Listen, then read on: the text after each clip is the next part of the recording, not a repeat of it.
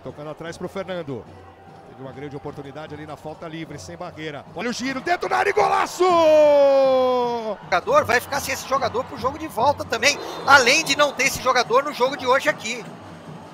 Faltando dois segundos, mais uma tentativa aí, ó. Foi no pé de ferro, foi bem demais ali. Camisa 23 agora o amor.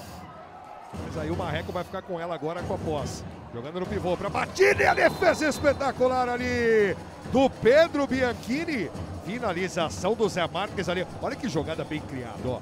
Começa com o café. Vem o piso ali do pivô e o Zé soltando a bomba. Paraná, a equipe que tem mais representantes na Liga Nacional de Futsal, né? Campeonato Paranaense, né? O Amadeu tem essa característica, ó, lá da quadra de ataque, levanta a cabeça, acha o passe no pivô no Teixeira.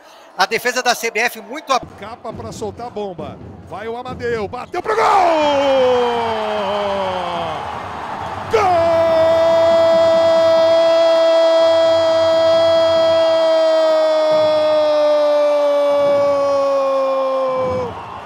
Do Marreco!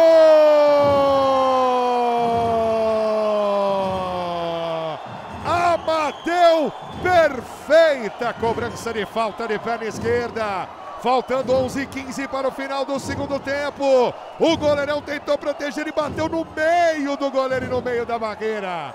Extrema felicidade agora do Amadeu. Para empatar o jogo, balança a rede de Carlos Barbosa. Um para o Marreco. Um para a CBF e o jogo é gigante, Sandro Falseta. Esquerda dele. E aí ele dá um balanço, né? Olha aí a bola Tra... vai entrando na trave. ali que ficou parado, ó. O Rony foi Murilo, muito né? esperto, jogou no meio e o Murilo perdeu a melhor chance de Carlos Barbosa no segundo tempo. Uma paralela que parecia ser uma paralela longa, olha lá.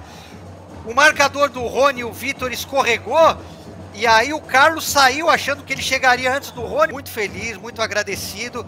A audiência hoje realmente uma audiência especial, né? Olha Todo mundo CBF, ligado Fernando nesse jogaço. Na trave! Outra vez finalizar.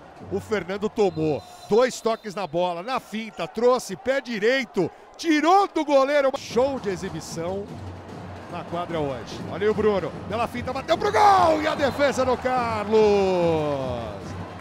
Grande defesa do Carlos, agora falta. Que lance, hein? O Bruno mostrando toda a habilidade ali, ó. Tirou a marcação ali do café. E o Carlos. E olha no último lance do jogo, a defesa agora do Pedro Bianchini. Sensacional a intervenção do goleiro